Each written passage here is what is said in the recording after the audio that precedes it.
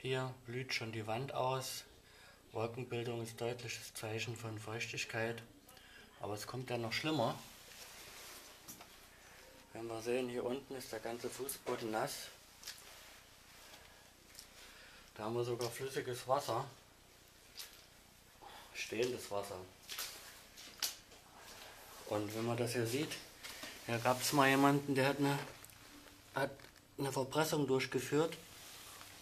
Das ist aber schief gegangen. Es kommt hier überall aus der Wand raus. Hier sieht man auch wieder die Ränder, Feuchtigkeitsränder. Ganz sicheres Zeichen von Undichtigkeiten.